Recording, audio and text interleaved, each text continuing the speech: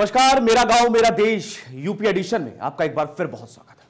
दर्शकों, आज बात करेंगे बुलंदशहर विधानसभा की।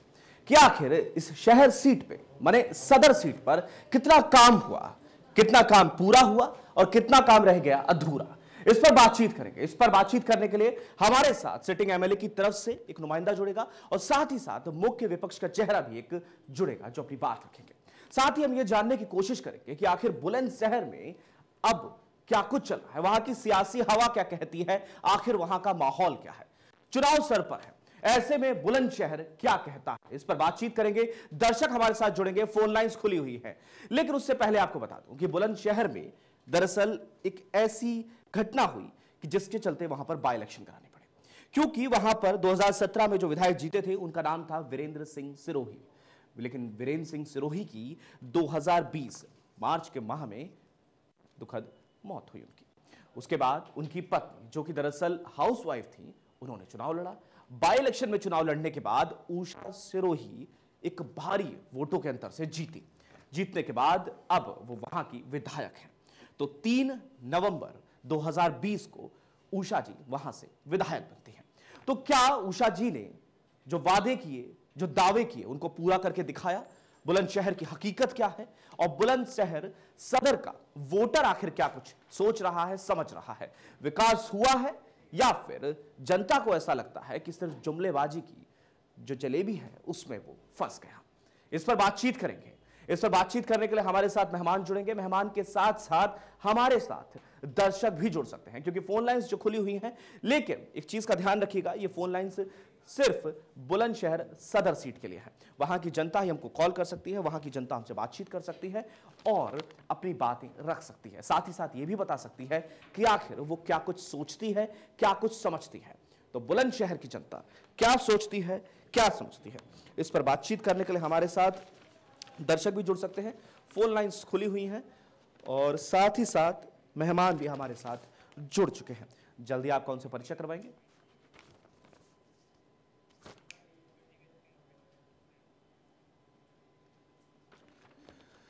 चलिए तो हमारे साथ मेहमान भी जल्दी ही जुड़ेंगे, उनसे हम बातचीत करेंगे। इसके साथ ही साथ दर्शक भी हमारे साथ जुड़ सकते हैं। नंबर लगातार टीवी स्क्रीन पर फ्लैश किए जा रहे हैं। साथ ही जानेंगे कि बुलंदशहर क्या कुछ कहता है। लेकिन उससे पहले आपको उषा जी के बारे में थोड़ा सा उनका गणित समझाता हूँ। तो उषा जी, जो कि इस वक्त बुलंदशहर सदर सीट से विधायक हैं, उनके बारे में बताते हैं कि उनके पास छप्पन लाख रुपए की एसेट है। मतलब छप्पन लाख रुपए की प्रॉपर्टी है। बताते हैं कि सत्रह लाख रुपए की ज्वेलरी है उषा जी के पास। और साथ ही साथ लखनऊ में एक चमचमाती कोठी, जिसकी कीमत लगभग 40 से 50 लाख रुपए। तो आपके विधायक के पास खूब धन है, धनवान है, लेकिन क्या जनता भी उतनी ही धनी हुई? क्या जनता के आर्थिक रूप से जनता का भी कुछ विकास हुआ या नहीं? क्या जनता जो कल तक परेशान थी या किसी चीज़ को लेकर, किसी मुद्दों को लेकर वो सरकार बदल रही थी तो जब वो सरकार बदल रही थी तो उसके जहन में जो कुछ चल रहा था, क्या उसको लेकर वो सब कुछ हो पाया, जो सोचा गया था। तो बुलंदशहर का क्या है हाल? इसको जानने के लिए आज का कार्यक्रम मेरा गाँव, मेरा देश, यूपी एडिशन। लेकिन उससे पहले सड़कें देखिए, सड़कों के हाल आपको दिखाते हैं। ये ताज़ा तस्वीरें हैं बुलंदशहर की। तो सड़क पे गड्ढे हैं या गड्ढों पर सड़क? एक अच्छी खासी सुनी सुनाई कहावत उत्तर प्रदेश के परिप्रेक्ष्य में कही जाती है। तो ये देखिए, सड़कों का हाल आपके टीवी स्क्रीन पर सामने है। और मेरे साथ जो नेता जुड़ेंगे, अगर वो जुड़ चुके हों तो उनको भी ये तस्वीरें देखनी चाहिए।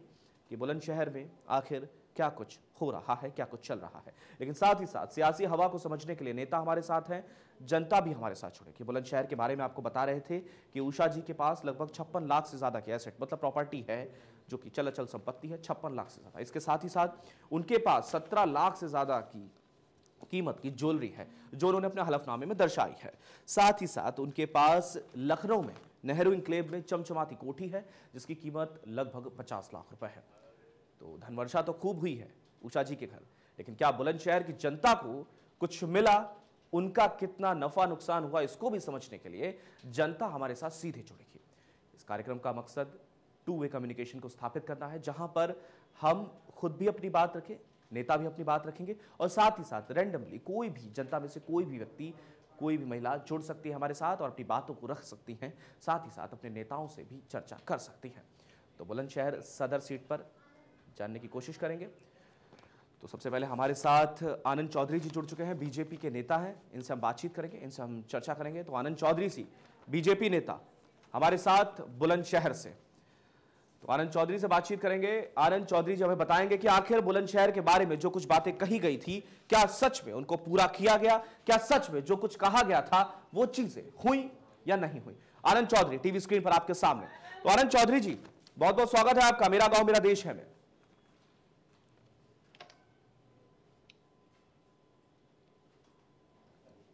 आनंद चौधरी जी, आपको मेरी आवाज़ मिल रही है?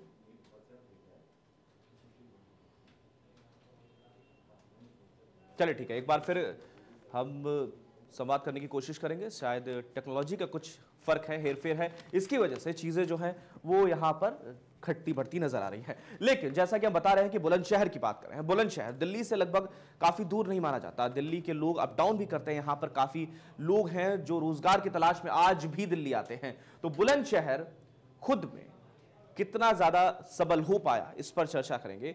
खुद में कितना ज़्यादा आज कुछ कर पा रहा है, इस पर बातचीत करेंगे। और इसके लिए हमारे साथ, जैसा कि हम बता रहे हैं कि इस कार्यक्रम में नेता भी जुड़ेंगे, मेहमान भी जुड़ेंगे, दर्शक भी जुड़ सकते हैं, फ़ोन लाइन्स खुली हुई हैं। ऐसे में बुलंदशहर सदर से चुनावी हकीकत बयां करने के लिए कार्यक्रम है, जहाँ पर चुनावी परिप्रेक्ष्य की अगर बात करें तो जो भी लोग इस पूरी सेंटर में, चुनावों के जो सेंटर में है, उन सबको जोड़ने की कोशिश की जाएगी। यहाँ पर पत्रकार भी आपके साथ रहेगा, जो इस पूरे संवाद को मॉडरेट करेगा, साथ ही साथ जनता भी जुड़ेगी, जिसको असल में वोट देना है, और साथ ही साथ नेता भी जुड़ेंगे, जिनको असल में वोट लेना है। तो ये लड़ाई, ये जो सियासी दंगल है, ये दरअसल तब खत्म होगा जब मतपेटियाँ खुलेंगी। मतपेटियाँ खुलेंगी तो आखिर किसकी किस्मत खुलेगी? इस पर भी चर्चा है। तो आखिर मतपेटियाँ खुलेंगी, किसकी किस्मत पर चर्चा होगी आने वाला वक्त बताएगा। अभी का वक्त क्या है? अभी का वक्त है सियासी हवा को टटोलने का। अभी का वक्त है कि राजनीति किस ओर जा रही है, इसको समझने का। युवा क्या सोचता है, इसको समझने का। गृहणियाँ क्या सोच रही हैं, इसको समझने का। तो आखिर कैसे समझेंगे? इसको समझने के लिए पैमाने हैं। एजुकेशन, शिक्षा का पैमाना है। इसको समझने के लिए महँगाई का पैमाना है। इसको समझने के लिए वो तमाम पैमाने हैं जिसके ज़रिए हम नापेंगे कि आखिर ये सत्ता का जो थर्मामीटर है, ये किस लेवल पर जाकर रुक रहा है? किस लेवल पर जाकर अपनी बात रख रहा है? आज बता दूँ आपको कि प्रधानमंत्री नरेंद्र मोदी गंगा एक्सप्रेसवे की बात कर रहे हैं। तो क्या गंगा एक्सप्रेसवे की बात हो रही है तो क्या बुलंदशहर के विकास की बात भी होगी? अगर पूर्वांचल को साधने की कोशिश है, अगर पूर्व को साधने की कोशिश है तो कब बुलंदशहर की बात भी प्रधानमंत्री नरेंद्र मोदी या मुख्यमंत्री योगी आदित्यनाथ के जुमा से निकलेगी। ऐसे में आनंद चौधरी साहब एक बार फिर हमारे साथ जुड़ गए हैं। बीजेपी से नेता हैं। आनंद चौधरी साहब, आपका बहुत बहुत स्वागत है। आपको मेरी आवाज़ मिल रही है, आनंद चौधरी साहब? ठीक है। आनंद चौधरी साहब 2017 में आपने वादे किए, दावे किए, आप सत्ता में आते हैं। लेकिन 2020 में एक दुखद घटना होती है, जिसके बाद आपको एक बार फिर वही बातें रखनी पड़ती हैं। एक लाइन में एक पॉइंट में समझाइएगा कि बुलंदशहर को आपकी विधायक ने क्या दिया। देखिए जहाँ तक बुलंदशहर के विकास की हम्म हम्म। बात है हम्म। क्या मेरी आवाज़ क्लियर आ रही है? हाँ हाँ बिल्कुल क्लियर आ रही है। तो स्वास्थ्य और सड़क दो ऐसे विषय हैं जिनकी सबसे ज़्यादा आवश्यकता होती है। स्वास्थ्य के क्षेत्र में अगर देखें तो बुलंदशहर में मेडिकल कॉलेज दो हम्म 250 करोड़ का हम्म। लागत का अपने आप में एक हम्म। मील का पत्थर साबित होगा। हम्म।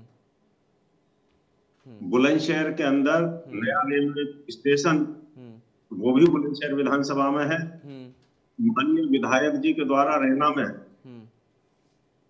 ओपीडी चालू कराना प्रसव केंद्र चालू कराना हम्म। ऑक्सीजन प्लांट लगवाना हम्म। इससे 20 गाँव लाभान्वित होने वाले हैं आसपास उसमें ओपीडी चालू हो गई है। बुलंदशहर डिस्ट्रिक्ट हॉस्पिटल में वहाँ भी ऑक्सीजन प्लांट का निर्माण विधायक जी ने कराया है और जहाँ तक सड़क की बात है तो अब तक पचास करोड़ की सड़क बुलंदशहर विधानसभा के अंदर बन चुकी है। पचास करोड़ की सड़क हो लागत- पचास करोड़ की सड़क हो पचास हज़ार करोड़ की सड़क हो। आनंद चौधरी साहब आपकी टीवी स्क्रीन आप देख पा रहे होंगे। उसमें आप एक चीज़ देखिएगा कि ऊपर आपके विजुअल्स चल रहे हैं। विजुअल्स में सड़क के हाल देख रहे हैं आप क्या है सड़क के हाल विजुअल्स में? समझ पा रहे हैं? देखिए अभी भी 18 साल का निर्माणाधीन है एक साथ सारी सड़क नहीं बनती। हम्म। ऐसी कोई गाँव नहीं है जहाँ सड़क ना बनी हो। हम्म, और बाकी अभी प्रक्रिया में हम्म। चालू है टेंडर पूर्ण हो चुके हैं। आठ करोड़ के अभी टेंडर क्लियर हुए हैं हम्म। उनका भी काम शुरू हो जाएगा। ठीक है दर्शक भी हमारे साथ जुड़ेंगे वो आपसे ल- भी सवाल करेंगे। वो बताएँगे दरअसल हकीकत क्या है बुलंदशहर की? वो बताएँगे आपको। चलिए विजुअल विजुअल भी दिखाते रहिएगा। विजुअल जरा जुड़िएगा स्क्रीन पर। विजुअल्स लगाइएगा स्क्रीन पर। तो ये बुलंदशहर से आनंद चौधरी साहब बीजेपी नेता हमारे साथ जुड़े हुए हैं। उनसे हम बातचीत कर रहे हैं और ऐसे में दर्शक भी हमारे साथ जुड़ेंगे। उनसे भी हम बातचीत करेंगे। मैं कहूँगा कि दर्शकों के लिए फ़ोन लाइंस खोल दी जाए और दर्शकों को जोड़ा जाए। आनंद चौधरी साहब हमारे साथ जुड़े और राहुल यादव जिला अध्यक्ष समाजवादी पार्टी से, वो भी हमारे साथ किसी भी वक्त जुड़ सकते हैं। तो बुलंदशहर क्या कुछ कहता है? इसको दिखा रहे हैं, समझा रहे हैं। आनंद चौधरी साहब ने कहा कि 50 करोड़ की लागत से सड़कों को बनाया जा रहा है। लेकिन सड़कें दरअसल ये बता रही हैं कि अगर यहाँ पर कोई दुर्घटना होती है तो उसका जिम्मेदार कौन होगा? इसको समझने की कोशिश कर रहे हैं। इसको जानने की भी कोशिश कर रहे हैं। तो बुलंदशहर की हम बात कर रहे हैं, सदर सीट की बात कर रहे हैं, जहाँ पर क्या कुछ चल रहा है, उसको समझने की कोशिश कर रहे हैं। तो ऐसे में दर्शकों से लगातार हम कांटेक्ट करने की कोशिश करेंगे। जो भी कॉल आ रही है, उसको ले लीजिएगा, उस कॉल से हम बातचीत करेंगे। साथ ही साथ, यहाँ पर आनंद चौधरी साहब जो हमारे साथ जुड़े हुए हैं। आनंद चौधरी साहब, अब एक चीज़ और समझाइएगा कि शिक्षा को लेकर क्या कुछ आपने बुलंदशहर को दिया? क्योंकि बुलंदशहर के लिए बात होती है कि यहाँ पर कॉलेज डिग्री कॉलेज की बात कर रहा हूँ। वो उतने व्यवस्थित नहीं है। डिग्री कॉलेज की व्यवस्था ठीक नहीं है कि वहाँ पर जाकर बच्चे अच्छी शिक्षा ग्रहण कर सके। नहीं जहाँ तक शिक्षा का सवाल है तो बुलंदशहर विधानसभा के अंदर हम्म, कई डिग्री कॉलेज हैं। बनस्पत अगर ज़िले का हिसाब लगाएँ तो बुलंदशहर में डिग्री कॉलेज ज़्यादा बैठेंगे। हम्म, आईपी कॉलेज का नया हम्म, हम्म, भवन बना है दिल्ली रोड पर। हम्म, उसमें बीसीए और वैसी शिक्षा भी ले सकते हैं बीसीए बीबीए हम्म, की भी उसमें शिक्षा है। हम्म, तो शिक्षा का जहाँ तक सवाल है प्राइमरी स्कूल की पहली हालत क्या थी? आज हालत प्राइमरी स्कूल है। है। देखते ही बन रहा है। जहाँ से वर्ष हो रहा हूँ दो वर्ष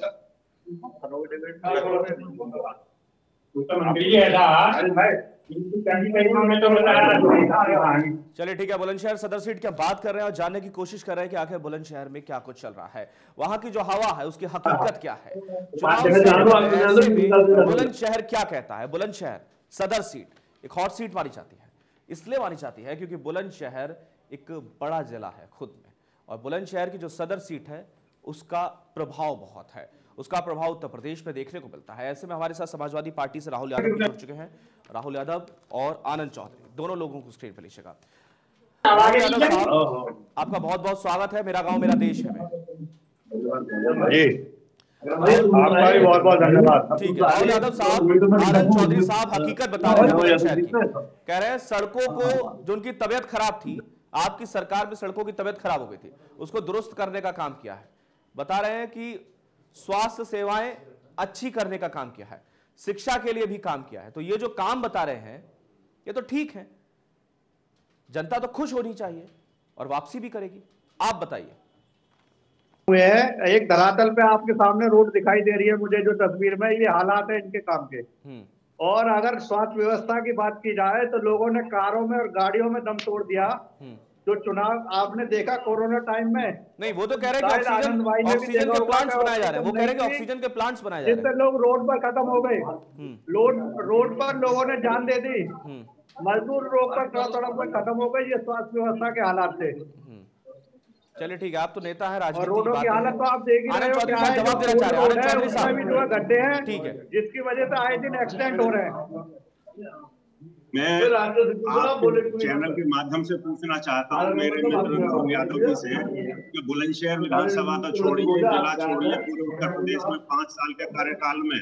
अगर एक भी इन्होंने जिला प्रदेश के अंदर ऑक्सीजन प्लांट लगाया हो तो ये मुझे उस ज़िले का नाम बता दें। पूरे अखिलेश की पूरे पाँच साल की सरकार में लगा हो आनंद चौधरी साहब आपके या फिर राहुल यादव साहब आपके बैकग्राउंड से शोर आ रहा है उसको थोड़ा सा कम करने की कोशिश करिएगा। फ़ोन स्पीकर पे कर रखा है किसी ने फ़ोन को स्पीकर पे मत करिए कान में लगा लीजिए आप कोई समस्या नहीं है उससे। ठीक है क्योंकि हाँ ठीक है अब अपनी बात रखिए आनंद चौधरी साहब।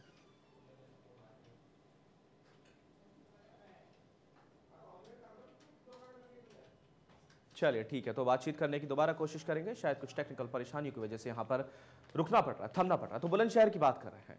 ऐसे में आपको बता दें कि दर्शक भी लगातार कॉल आ रहे हैं, दर्शकों को भी लेने की कोशिश करेंगे, उनसे भी बातचीत करेंगे, वो अपने आप जुड़ते रहेंगे। तो आपने आनंद चौधरी साहब को सुना और राहुल यादव साहब को भी सुना। दोनों के अपने अपने बातें हैं, दोनों के अपने अपने कहने हैं। लेकिन हम ये जानना चाहते हैं कि आखिर बुलंदशहर का एक युवा क्या कहता है? बुलंदशहर की एक महिला क्या कहती है? एक गृहिणी क्या कहती है? एक बेरोजगार जो रोज़गार की तलाश में भटक रहा है, वो क्या कुछ कहता है? इसको जानने की, समझने की हम लगातार कोशिश करेंगे, लेकिन उससे पहले कॉलर्स भी जुड़ेंगे, उनसे भी जानेंगे कि आखिर वो क्या कहते हैं। कोई भी रैंडम कॉलर जुड़ सकता है। नंबर्स लगातार फ्लैश हो रहे हैं, उनको जोड़ने की कोशिश करेंगे और जानने की कोशिश करेंगे कि आखिर क्या कुछ चल रहा है। एक कॉलर ऐसे में लाइन पर है, ये नेताओं को भी आप लीजिए जरा स्क्रीन पर लीजिएगा नेताओं को भी जरा। तो नेता स्क्रीन पर रहेंगे कॉलर जुड़ा हुआ है हमारे साथ। बहुत बहुत स्वागत है आपका। नाम बताइएगा अपना। साहब रोहित बोल रहा हूँ जी। रोहित? हाँ जी। जी रोहित साहब बताइए क्या कह रहे हैं बुलंदशहर पर चर्चा चल रही है। दोनों तरफ़ नेता हैं। एक तरफ़ विपक्ष के नेता हैं तो दूसरी तरफ़ जो सत्ता में आसीन है वो नेता है। दोनों अपनी अपनी बातें रख रहे हैं। आप क्या कहते हैं दर्शक?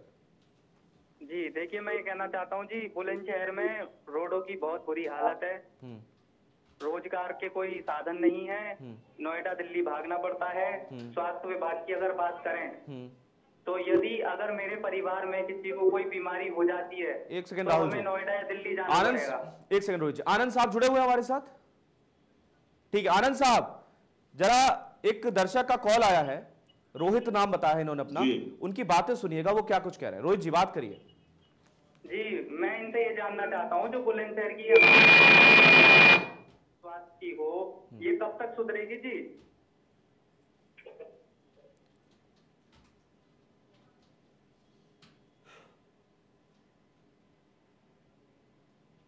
हाँ नहीं नहीं आनंद जी बोलिए बोलिए।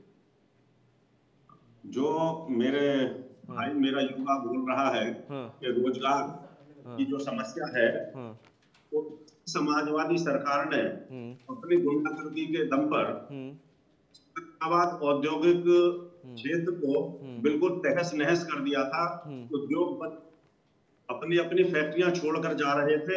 आज पाँच साल के अंतराल पर आप देख सकते हैं कि वहाँ पुरानी फैक्ट्री भी चालू हुई है और वहाँ नई कितनी कंपनियाँ लगी हैं उसमें ज़िले के हज़ारों युवक हम्म। रोज़गार प्राप्त किए हैं। आप खुद निकल के बढ़कर ठीक है, ये तो हज़ारों लोगों जो रोज़गार प्राप्त कर रहे थे उसमें रोहित कैसे छूट गए रोहित नेताजी कह रहे हैं कि हज़ारों लोगों को रोज़गार मिल गया। आप कैसे पीछे रह गए? रोज़गार मेले लग रहे हैं लगातार। ठीक है रोहित जी रोज़गार के मेले लग रहे हैं लगातार। उन पर क्यों डंडा चल रहा है? वो किस लिए लड़ रहे हैं?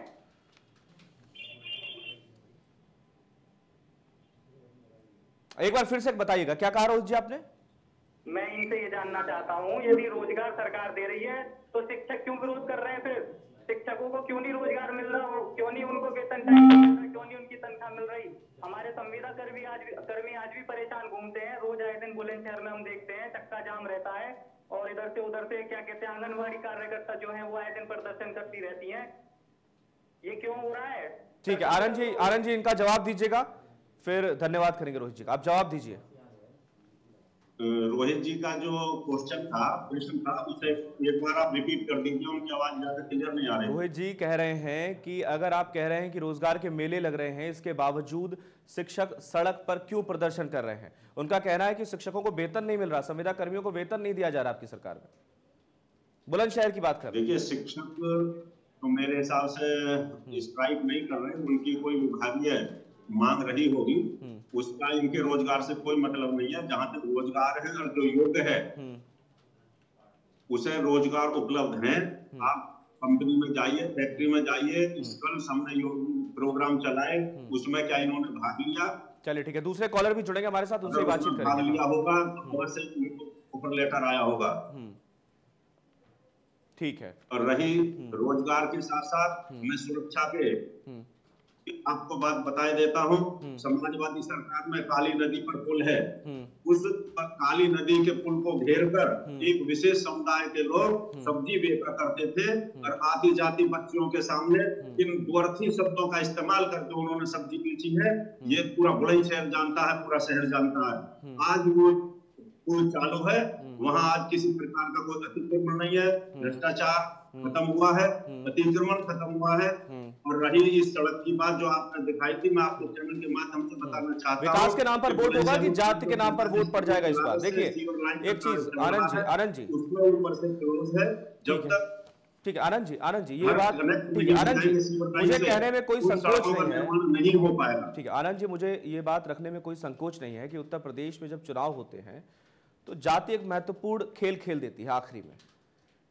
पूरे पाँच साल तक हर व्यक्ति जनता एक आनंद जी आनंद जी आनंद जी आनंद जी आनंद जी जरा सवाल लीजिए। आनंद जी थोड़ा सा थोड़ा सा ठहरिए सवाल लीजिए। पाँच साल जनता बात तो करती है मुद्दों की महँगाई का बेरोजगारी का तरह तरह के मुद्दे रखती है। लेकिन ऐसा देखा गया है उत्तर प्रदेश की जब हम चर्चा करते हैं बातचीत करते हैं उत्तर प्रदेश के चुनावों के बारे में जब हम पढ़ते हैं तो देखते हैं कि व्यक्ति जाति पर ज़्यादा वोट डालकर आ जाता है। और जाति पर अगर वोट पड़ता है तो आपको नुकसान हो सकता है क्योंकि जो छोटे छोटे दल हैं जो जातियों के अपने आप को पुरोधा समझते हैं जो दरअसल किंग बने हुए हैं छोटी छोटी जातियों के वो सब अब अखिलेश यादव के कुनबे में शामिल होते नज़र आ रहे हैं। तो इससे आपको कहीं कुछ घाटा होता नज़र नहीं आता? देखिए फ्यूज बल्बों की लड़ी है। हम्म, ये चलने वाली नहीं है। निषाद पार्टी की बात कर रहे हैं क्या? कर रहे हैं। हाँ। जो संभव नहीं है दिवा स्वप्न देख रहे हैं। हम्म। और जब यहाँ मेडिकल कॉलेज बनेगा तो कितने लोगों को रोज़गार उपलब्ध होगा? आपने एयरपोर्ट, पार्टी के साथ फिर गठबंधन क्यों किया? असर बुलंदशहर में नहीं पड़ेगा रोज़गार ठीक है। तो फिर अगर आपने विकास किया है तो फिर आपको निषाद पार्टी की बात क्यों करनी पड़ी? एक सेकंड आनंद जी आनंद जी अगर आपने विकास इतना ज़्यादा किया है तो फिर आपको सहारा क्यों लेना पड़ा? आपने निषाद पार्टी के साथ गठबंधन की बात क्यों की है? मछुआरों केवटों इनके वोट मिल जाए इसलिए? हमने कभी भी ये नहीं कहा कि भारतीय जनता पार्टी पूरे केंद्र में देख लो या प्रदेश में देख लो हमने हमेशा गठबंधन रखा एनडीए हमारा। हम्म अगर ये इतने ही वो है तो ये भी तो छोटी छोटी पार्टियों से एक एक दो दो सीट वालों से जिनकी एक दो दो सीट भी नहीं है इनका तो उनसे भी गठबंधन है। ये तो लोकतंत्र है। जिसका हमें आस्था है हम्म। जिसका हमारी विचारधारा में आस्था है वो हमारे साथ है। ठीक है ओम प्रकाश राजभर क्यों चले गए आप? आस्था कैसे बिखर गई? साथ नहीं छोड़ा है। ठीक है आस्था कैसे बिखर गई? ओम प्रकाश राजभर जी क्यों चले गए आज? आज दूसरी नाव पर सवार। है उनकी कुछ महत्वाकांक्षाएँ होंगी। हो सकता है वो पूरी ना हो पा रही हो। महत्वाकांक्षी होना कोई बुरी बात नहीं है लेकिन है आप उनको वो पद नहीं दे पा रहे थे आप उनको वो पद नहीं दे पा रहे थे जिसकी वो आकांक्षा रखते हुए थे। चलिए ठीक है एक और कॉलर हमारे साथ जुड़ गए बहुत बहुत स्वागत है आपका। नाम बताइएगा। नमस्कार मैं बोल रहा हूँ तनुज। अनुज। तनुज वर्मा बात कर रहा हूँ। तरुज वर्मा ठीक है। हाँ जी जी मैं युवा हूँ और मैं चाहता हूँ कि रोज़गार मिले मैंने बीकॉम किया है। और मुझे समझ में नहीं आ पा रहा है कि मैं अपने फ्यूचर को कैसे सिक्योर करूँ।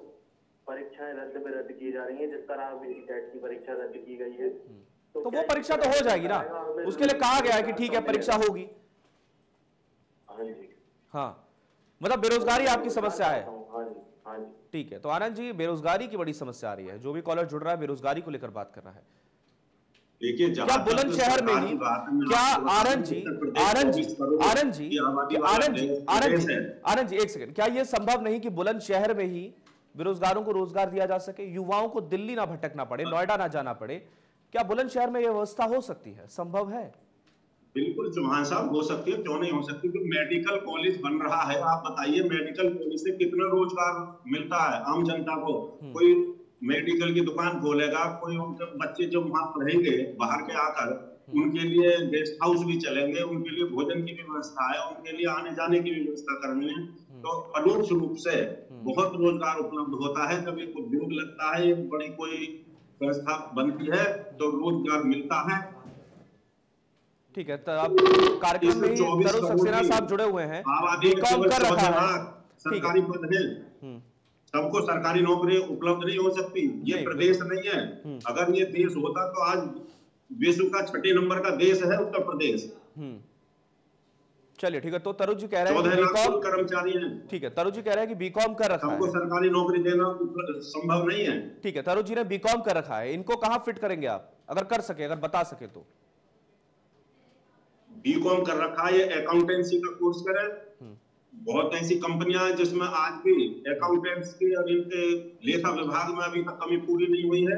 खाली एक बीकॉम कर लिया उसके साथ अगर अकाउंटेंसी की थोड़ी सी छह महीने का डिप्लोमा होता है उसे करे और अपना कहीं ना कहीं रोज़गार अवश्य मिलेगा। मैं इनके हार्दिक सुखद भविष्य की कामना भी करता हूँ। चलिए चलिए ठीक है। तो आप बता रहे हैं कि स्किल की ज़रूरत है, उसके लिए डिप्लोमा की भी ज़रूरत है, डिप्लोमा करना भी आवश्यक होगा। चलिए, आनंद चौधरी साहब, आपका बहुत बहुत शुक्रिया हमारे साथ जुड़ने के लिए शानदार तरीके से अपनी बात रखने के लिए, जवाब देने के लिए। बुलंदशहर की बात कर रहे थे, बुलंदशहर में क्या कुछ चल रहा है, हकीकत क्या है? चुनाव सर पर है, चुनाव दरवाजे पर खड़े हैं तो क्या ये दरवाज़ा खुलेगा बीजेपी के लिए या समाजवादी पार्टी के लिए? कोई थर्ड फ्रंट या फिर कोई छोटा दल?